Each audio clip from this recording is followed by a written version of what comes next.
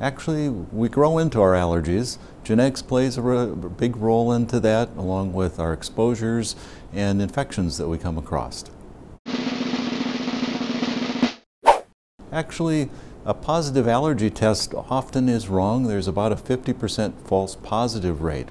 Additionally, soybean is one of those allergens that we often outgrow.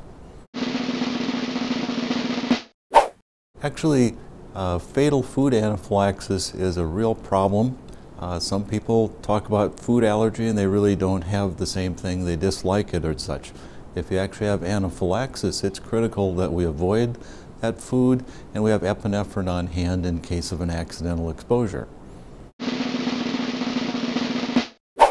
Actually, nowadays, patients with egg allergy can take the flu shots as the egg part is really out of it.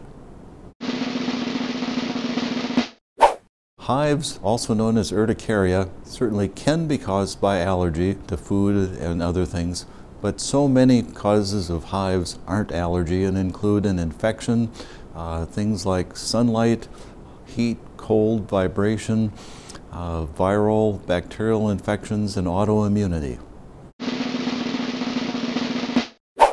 Actually, food allergy is more likely to cause anaphylaxis, more of a multi-system reaction. Nasal allergies are caused by things we breathe in, so it would be pollens, molds, danders, dust mite types of things. That is, unless you're putting the food up your nose. Local honey really doesn't do a good job because the dose of the pollens that you're getting is way too low. That's why a lot of the drops under the tongue don't work very well either. But I have to say that this is one tasty treatment to try. Sinus and ear problems are due more so to inhaled allergy problems plus viral and bacterial infections.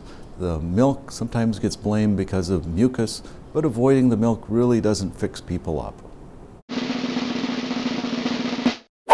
Indoor plants have pollens that don't go very far, and we really don't have much for mold growing on them.